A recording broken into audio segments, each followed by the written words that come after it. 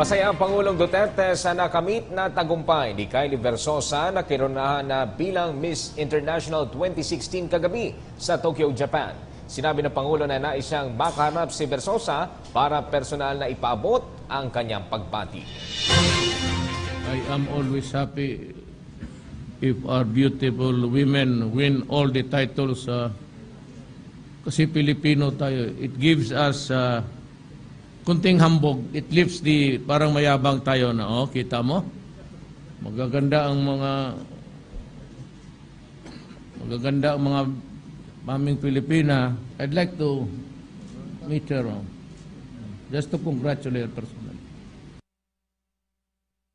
Sa ika-anim na pagkakataon, nakuha ng Pilipinas ang titulo sa prestihiyosong Miss International Beauty Pageant matapos koronahan kahapon ng kindergarten teacher at model na si Kylie Versosa. Narito ang hataw na balita ni Mirasola Bagadir.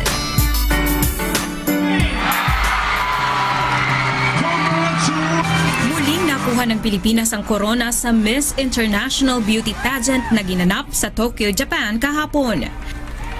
Lumutang ang gandang Pilipina ng ating pambato na si Kylie Versosa sa suot nitong traditional costume at blue evening gown. Ipinamalas naman ni Kylie ang talino sa kanyang winning answer speech sa 56th Miss International Beauty Pageant. Three things come to mind when I think of Miss International culture, education, and international understanding. These three work together to make the brand of the Miss International Beauty Pageant relevant to the global community and to our time.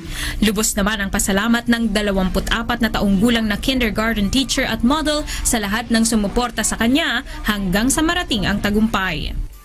I cannot believe this moment right now, and I am ecstatic and happy. Thank you so much to my family, to the Philippines, to everyone who supported me. I did not go through this journey alone. Si Kylie ang ika-anim na Pilipina na kinoronahan bilang Miss International. Huling nakuha ng bansa ang titulo noong 2013 sa pamamagitan ni Bea Rose Santiago. Samantalang natuwa naman si Pangulong Rodrigo Duterte sa pagkapanalo ni Kylie. Magugunitang nag-post pa sa kanyang Instagram ang beauty queen ng picture nila ng Pangulo na noon ay nasa Japan din para sa state visit. Of course, I am happy. I am always happy if our beautiful women win all the titles. uh, kasi Pilipino tayo. It gives us uh, kunting hambog. It lifts the, parang mayabang tayo na, oh, kita mo? Magaganda ang mga magaganda ang mga maming Pilipina pero yung lahat kayo dyan sa Human Rights Commission mga pangit. Anim na putsyam na contestants mula sa iba't ibang bansa ang lumahok sa prestigyosong beauty pageant. Itinanghal na runner-up ang Australia, Indonesia, Nicaragua at United States.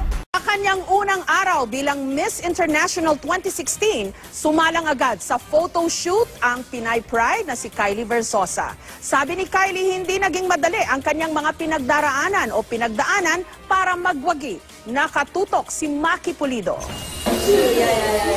Halos wala pang tulog si Kylie Versosa mula ng koronahang Miss International kagabi. Pero sabak agad siya sa hectic na schedule ngayong araw. Halos buong araw ang photo shoot ni Kylie para sa major sponsor ng Miss International. At di mo mahahalatang wala pa siyang pahinga. It's only been a few hours, uh, but everything's hasn't sunken in yet. Not yet. I just we just woke up actually, so we have our first few activities today, and it's going to be a long week. So I'm really looking forward to it. You have to fight. You know, I am a fighter, and that's also why I won the crown.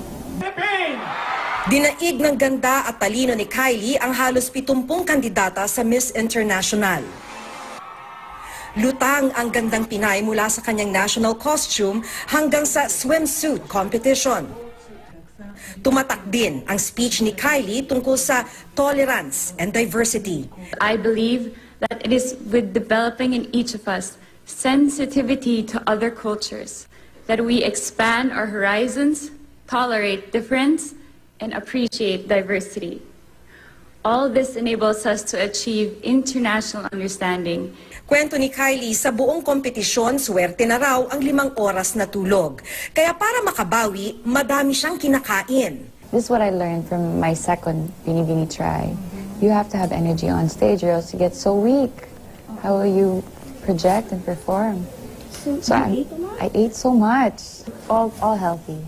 Nothing processed, but fruits and vegetables, eggs. And uh, chocolates. You need, you need the sugar. Excited si Kylie sa balitang gusto siyang personal na i-congratulate ni Pangulong Duterte. Bago siya magwagi, naka-selfie na ni Kylie ang Pangulo sa Philippine Economic Forum dito sa Tokyo. Really? Thank you so much. You know, people people think I met him. I chased him for a selfie. I met with him for a second. And he was so nice to stop for me. So that's what I that's what I liked. Tinanong ko si Kylie, bakit sa tingin niya, siya ang nakakuha ng titulo. Because I'm strong. You know, during the speech, I was worried about my my words. Maybe it was too um, complex. But that's me, you know. I, I wanted to give them me. So that's what I gave them. It was very difficult. I joined Bini Bini twice. I joined Miss Philippines twice to get to where I am today. And uh, everything happens for a reason. And now, I still cannot believe it. Mga kapuso, sa puntong ito, makakapanayan po natin ang Y mula sa Tokyo sa Japan. Ang ika-anim na Miss International na Pilipinas, walang iba kung hindi si Kylie Versosa. Magandang gabi. Good evening, Kylie. Good evening. Hi, good evening. This is Mike Hi, Enriquez from. GMA. Kylie. Hi. Kylie, Oh, hi, hi, congratulations. Sir Mike. Okay. Hi. Before Hi, anything hi. else, gusto natin Thank paalam. you so much. Thank you, thank Ah, you. okay, and no, thank you, Kylie. We should be thanking you. Before anything else, gusto natin paalam sa mga nanonood at nakikinig, si Kylie po ay isang business management graduate ng Ateneo de Manila. Naging preschool teacher siya at bukod dyan, nag-model din siya. So Kylie, aside from that, Miss International ka ngayon. Paano mo balak gamitin ang lahat-lahat ng yan na pinagbibigay you sa'yo so ng much. Panginoon? Ngayon at ikaw ay Miss Universe, Kylie. Uh, international, I'm sorry. Miss International. International Okay. Um, what I'm going to do with it, I'm going to share whatever I have to the world. Um, as cliche as it may sound, whatever is given to me, I really want to share it. Okay, uh, Kylie, we have Jessica Soho with us this evening, and she will be asking you a couple of questions. Congratulations, Yes. Kylie, and thank you very much. Okay. Kylie, Thank you so much. Thank Kay- you so much. Thank you so much also for yes, Kylie, kumbaga ay nagkaroon ka ng platform para sa iyong boses as Miss International. Paano mo intensyon na gamitin itong yes, boses na yes ito? Po. Um, now that I have my voice, I can use this to spread the things to, or to talk about the things that matter the most. And that is um, cultural understanding, international understanding, and mental health awareness. Just bring awareness about the things that need to be put to light and um, talk about the things that would be able to give information to other people. Natanong ko na sa iyo ito kagabi sa SONA pero for our viewers sa 24 oras, tanungin ko ulit, no? Ah, ang advocacy na gusto mong isulong, isa sa mga advocacy is mental wealth, mental health awareness. Paano mo gagawin ito, Kylie? Yes, yes. Just talking about it would help a lot.